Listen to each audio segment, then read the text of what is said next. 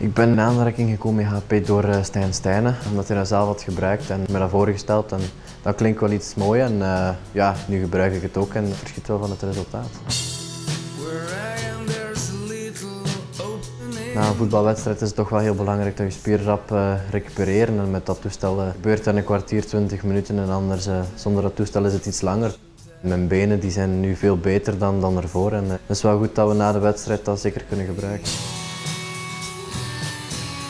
Mentaal en fysiek moet je toch heel top zijn in de sport en niet alleen in het voetbal, maar alle sporten. En dat kun je heel goed ontspannen en ja, oké, is perfect om even s morgens of s avonds de rust te pakken en uh, dat toestel te gebruiken dat je op en top kunt, uh, kunt gaan slapen op de dag starten. En ik zou het uh, in ieder geval niet kunnen missen.